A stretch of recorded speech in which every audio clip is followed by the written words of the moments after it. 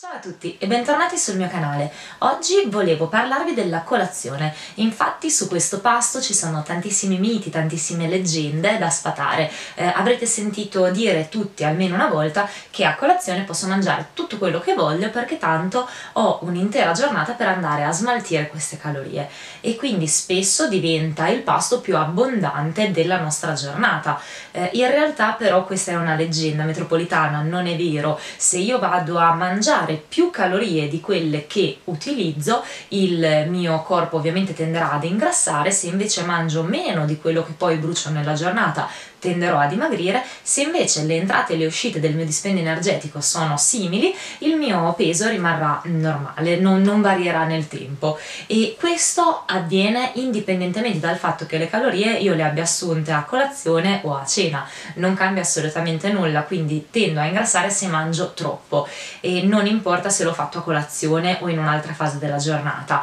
Infatti, oltretutto, non è vero che durante il giorno brucio molto di più rispetto alla notte, perché di notte, anche se dormiamo, tutte le nostre funzioni vitali vengono comunque mantenute invariate e il mio dispendio calorico più o meno è molto simile soprattutto se poi durante la giornata ho un lavoro prevalentemente seduto, quindi gran parte della giornata lo passo dietro una scrivania, anche se magari un po' mi muovo, cammino o una volta ogni tanto faccio un po' di palestra, comunque non ho un dispendio energetico che è il doppio o il triplo rispetto a quello che ho di notte, quindi questo non cambia assolutamente nulla. Altro errore abbastanza comune è quello di non fare colazione. Tantissime persone mi raccontano che non fanno colazione. Un conto è se eh, faccio questa scelta perché ho una filosofia, una dieta particolare da seguire, sto pensando al digiuno intermittente, per cui decido eh, consapevolmente di saltare la colazione perché poi ho una serie di pasti programmati in un'altra fase della giornata.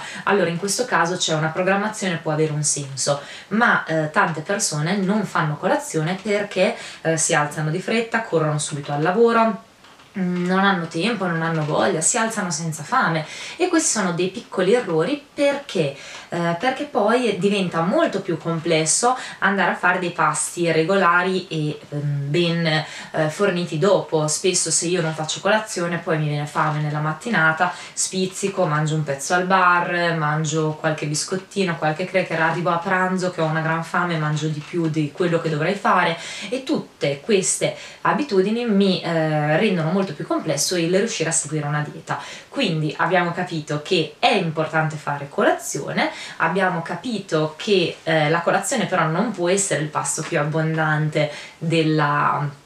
della mia giornata, quindi cosa devo mangiare a colazione per poter dimagrire? In realtà eh, anche qui ovviamente dipende, ogni persona può avere la sua dieta, ma certamente possiamo dire che eh, molto spesso sbagliamo a fare colazione. Quando le persone vengono da me a fare la dieta, la maggioranza delle persone mi raccontano che a colazione o la saltano o mangiano tantissimo o il 90% delle persone mangiano biscotti, croissant, merendine, mm, generalmente sono questi gli alimenti che andiamo a introdurre a colazione. E diciamo che non sono i più sani in assoluto perché tutti questi alimenti così zuccherini mi alzano tantissimo l'insulina e alzandomi l'insulina aumenta anche eh, l'accumulo di eh, grasso viscerale, mi aumenta il deposito viscerale. E quindi ovviamente dimagrire diventa un po' più complesso dovremo cercare degli alimenti che eh, mi, mi, alzano un pochettino meno l'insulina, mi creano meno picchi di glicemia, in questo modo mi riducono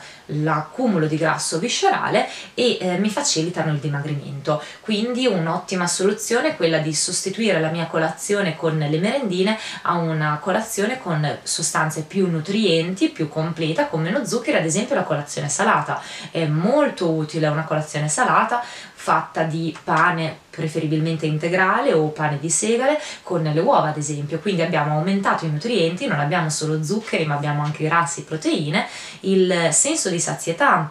rimarrà per un tempo più lungo, non ho tutti questi picchi di glicemia e quindi il mio dimagrimento è facilitato. Ci sono tante persone però che appena sveglie non riescono a fare la colazione salata e quindi possiamo optare per eh, ad esempio frutta fresca e frutta secca, anche qui introduciamo un po' di zuccheri ma introduciamo anche eh, fibre, anche proteine, anche grassi, quindi andiamo a ridimensionare questi picchi glicemici oppure anche lo yogurt, eh, lo yogurt magro con i fiocchi d'avena, anche questo è sicuramente una colazione più ricca, anche perché a parità di grammatura i biscotti non mi saziano tantissimo perché mi danno tanti zuccheri che uso subito, in più una porzione, poi ovviamente dipende da persona a persona, ma una mm, porzione mediamente di 3-4 biscotti, raramente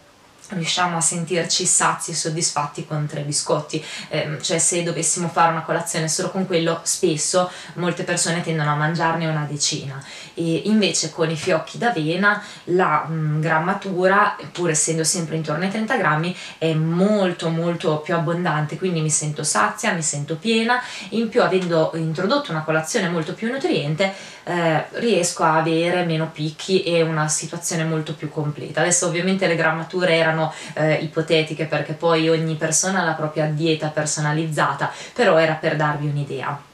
Quindi cercate di aumentare i nutrienti in ogni pasto, anche nella colazione, fate una bella colazione che vi sazi ma che non sia il pasto più abbondante della vostra giornata e in questo modo riusciremo ad aiutare ad accumulare meno grasso viscerale e a dimagrire. In ogni caso fare una buona colazione è una bella abitudine non solo per chi deve dimagrire ma anche per chi eh, vuole semplicemente stare in forma, comunque evitare questi picchi di insulina è utile in generale per la salute di tutti. Io spero di avervi dato qualche dritta perché se il buongiorno si vede dal mattino è importante iniziare anche con una buona colazione e quindi vi ringrazio, se il video vi è piaciuto lasciatemi un like e alla prossima!